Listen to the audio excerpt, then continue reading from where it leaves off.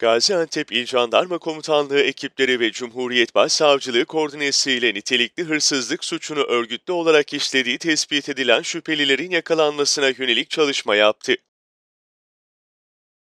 Yapılan teknik ve fiziki takip sonucunda Şehit Kamil ilçesinde 14 farklı adrese yapılan eş zamanlı şafak vakti kafes operasyonu düzenlendi. Operasyon sonucunda 11 şüpheliden 9'u yakalandı. Şüphelilerin adreslerinde yapılan aramalarda 45 litre kaçak mazot, 4 av tüfeği, 4 sahte plaka, 2 demir kesme makası, 2 elektrikli vinç, 2 levye ile muhtelif hırsızlık eşyası, 1 kuru sıkı tabanca ve şarjörü ve 1 kaynak makinesi ele geçirildi. Gözaltına alınan 9 kişiden 8'i sevk edildikleri adli mercilerce tutuklanarak cezaevine teslim edildi. Diğer bir şüpheli hakkında ise adli kontrol kararı verildi.